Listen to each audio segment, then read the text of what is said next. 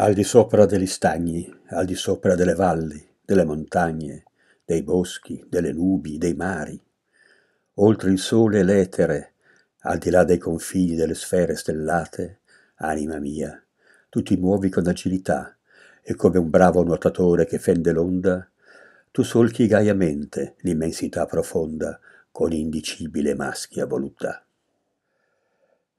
Via da questi miasmi putridi, va a purificarti nell'aria superiore e bevi come un puro e divin liquore il fuoco chiaro che riempie i limpidi spazi.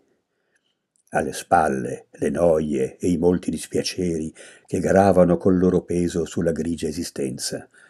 Felice chi può con un colpo d'ala vigoroso slanciarsi verso campi luminosi e sereni.